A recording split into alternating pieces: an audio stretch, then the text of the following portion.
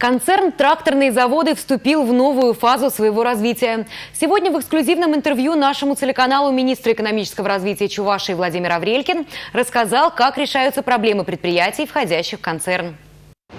Концерну «Тракторные заводы» уже был выделен целевой кредит на сумму 1 миллиард 900 миллионов рублей. Этой суммы хватило, чтобы решить главные проблемы. Предприятия погасили все имеющиеся долги перед энергетиками налоговой службой. Удалось погасить и задолженность по заработной плате. Сейчас в концерне выстраивают стратегию развития на ближайшие годы. По словам Владимира Аврелькина, все заводы, кроме промтрактора «Вагон», уже обеспечены заказами. Сегодня концерн развивается.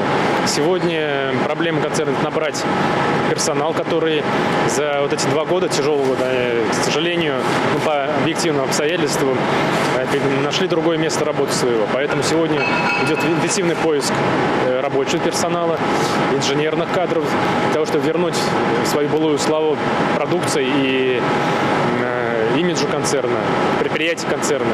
Это и промтраторы, и агрегатный завод, и промтратор, вагоны, промлит. Сегодня министр экономического развития, промышленности и торговли посетил завод по производству клинкерных материалов. Несмотря на сложности, предприятие работает в штатном режиме и развивает рынки сбыта. Руководитель Минэко рассказал о том, как в республике реализуются инновационные проекты. Подробности в новом выпуске программы «Сделано в Чувашии». Она выйдет в эфир 29 мая в 20 часов 30 минут.